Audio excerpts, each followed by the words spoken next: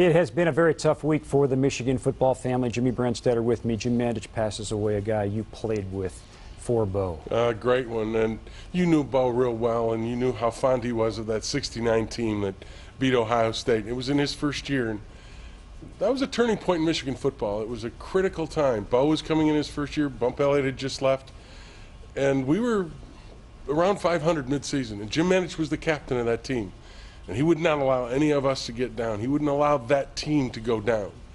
And uh, we went on and beat Ohio State. And, and that leadership that Jim Mandich displayed that season with Bo in his first year and, and really willing that team to go forward, I think set the stage for 40 years of excellence. And that's what Jim Mandich means to me. It's not just that year, it, it's the foundation he laid of leadership that we stood on his shoulders and everybody since then has been standing on his shoulders and getting Michigan football to where it is. People on the outside probably don't realize how close knit that Michigan football team and Michigan football family is.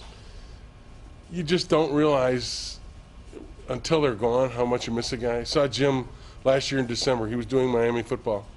And one of the things that brought him so close to us was he never let his success in Miami, and it was a lot of success. He had five Super Bowl rings.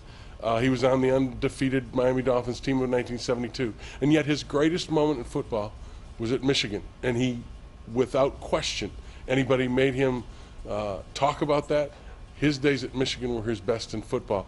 That endeared us to him, uh, him to us, and it, we became that family. And, and you need a father, you need a leader.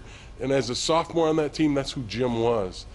And yeah, we feel like we've lost uh, really an icon in, in Jim Mandich. He kind of went the same route you did, decided to get into broadcasting and does He a did. Good, did a good job. I remember he called me up when he first got the job doing the Dolphins games, and he asked me, he said, "What are you getting paid?" and I told him, I says, we called him Diablo. That was his nickname in college. I said, Diablo, you should make a lot more than I should.